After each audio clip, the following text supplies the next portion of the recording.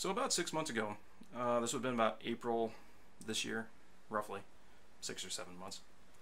Uh, a friend of mine and I were talking about Dungeons and Dragons, and he runs a small Dungeons and Dragons session that he dungeon masters, and he wanted to throw his players a logic problem of some kind. This was uh, originally going to be a pen and paper problem. We we didn't really know exactly what would fit in with the motif or the the, the genre, but uh, I threw up the idea of maybe making a physical logic problem or some sort of puzzle that they would have to solve, like a sliding block puzzle. That was one of our ideas. And then um, I offered my services to him for the Shapeoko, which I own uh, right behind me. This is the Shapeoko 2 CNC machine. I have a DeWalt 611 router connected to it. Um, it doesn't have a huge build area, but it's more than large enough to build these small puzzles. And uh, we came up with the idea of making a puzzle box instead of an actual like problem that they would have to solve. The puzzle box is a container that just has an unusual lock. You know, it has an un an inobvious uh, way of opening. So the players have to figure out what the solution is, open the box, and they get the prize, whatever it is.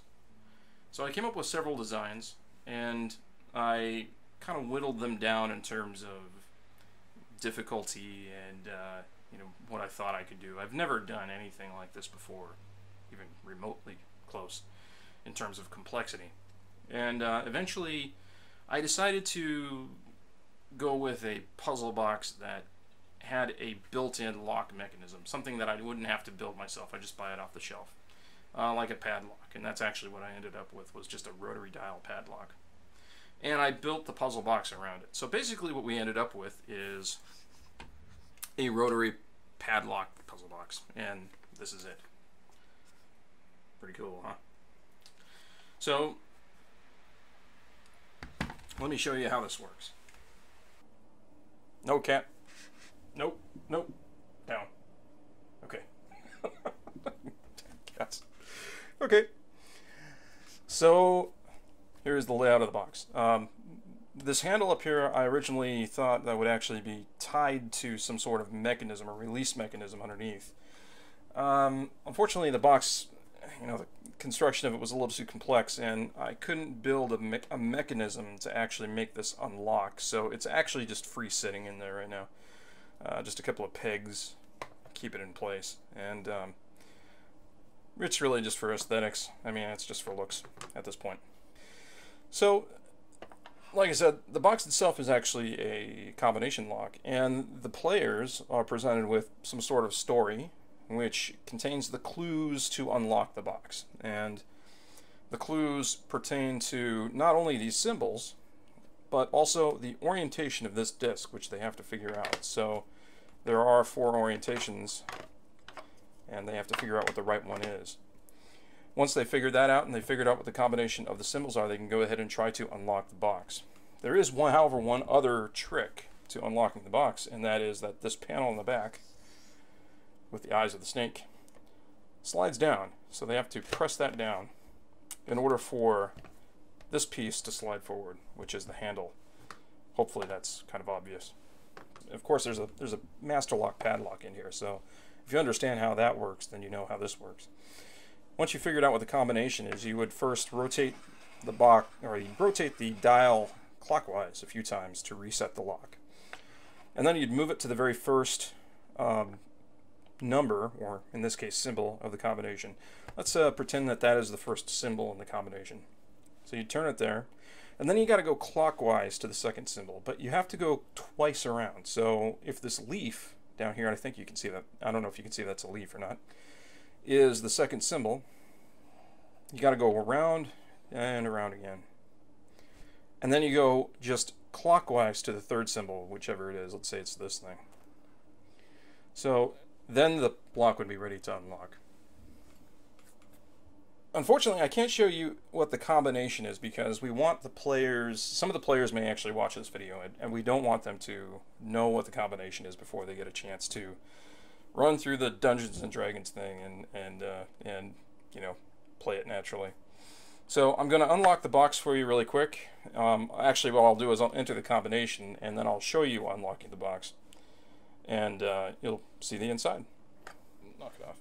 Okay, so I've entered the combination, and the box should unlock now if I slide this forward. Pop. The boxes are, there's actually two of them. Two boxes. Um, like I said, I think these are made from maple. And there's a little spring that uh, allows the box to pop up when you unlock the box. Gives it a nice uh, solid feel. These boxes aren't that big, but they're large enough to hold, say, you know, a message for another puzzle or a couple of uh, D&D dice, um, something for the players. Let me show you exactly what's on the inside and show you how it works. So, as you saw before, this ring just pops off.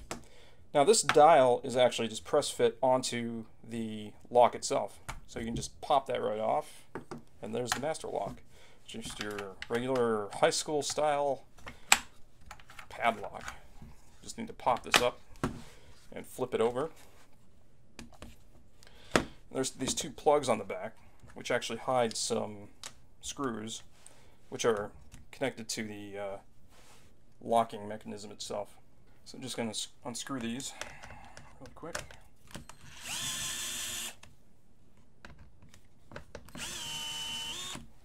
And with those undone, the sliding mechanism will pop off. And with that out of the way, I can actually remove this middle plate, which isn't actually bolted down to anything. And that reveals these three screws, which will release the bottom plate.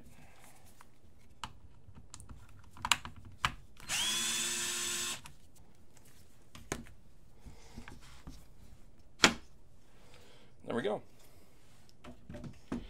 So you can see how this works. Uh, it's pretty basic. There's not much to it.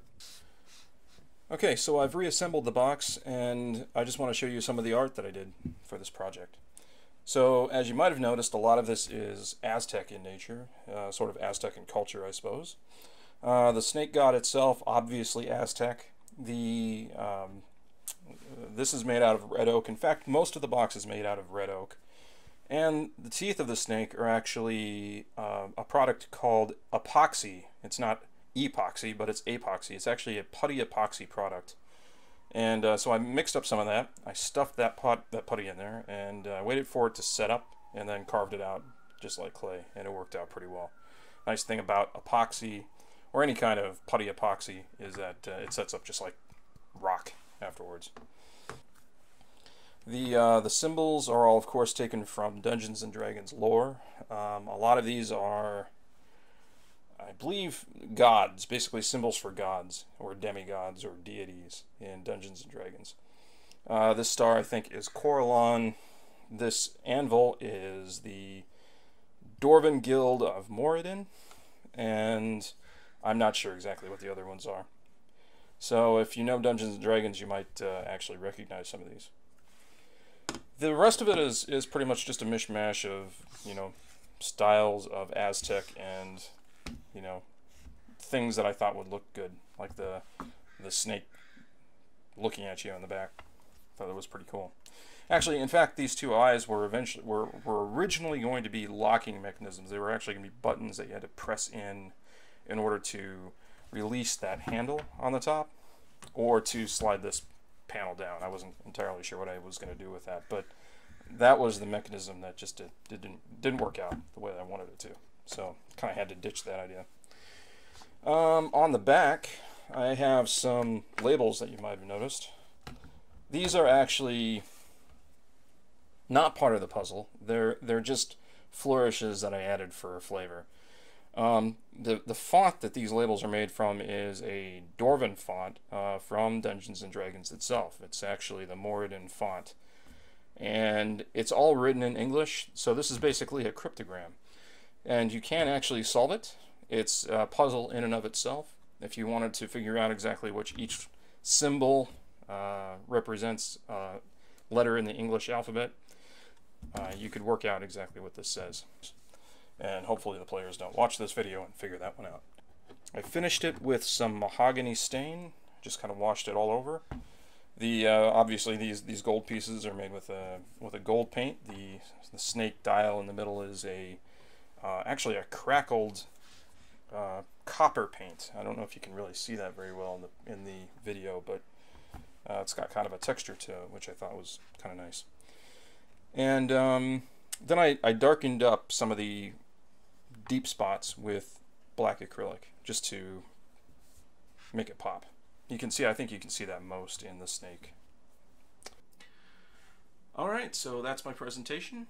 And uh, if you enjoyed this video, please go ahead and hit subscribe down below. I will be making more puzzle boxes in the future. It's something I actually really enjoyed doing, and uh, I'd like to do more of them. I have some great ideas for some more complex puzzle boxes. They're going to get bigger, they're going to get uh, harder to solve, and uh, I'm actually going to throw, I'm going to start throwing in some electronics. So you're going to start seeing some Arduino projects built into a puzzle box, and uh, hopefully we can make some really, really cool stuff.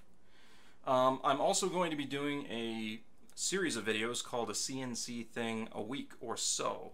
It's not going to be quite weekly. It's just going to be mostly weekly, and uh, we'll see how it goes. Uh, these are going to be projects that are very simple. They can be designed in a matter of hours and then built over the span of a couple of days on a weekend. Um, so I've got a cell phone holder that is going to be up uh, first, and then I have a Batman poster frame for a uh, little Batman promotional poster that I've had hanging around the office forever, so I need to do something with it. Uh, mostly those projects are going to revolve around things that I just have lying around and they just need something done with them. So I'm going to leave you with a relatively short montage of a lot of the parts of the puzzle box being made on that machine behind me. And um, I'll see you next time. Bye.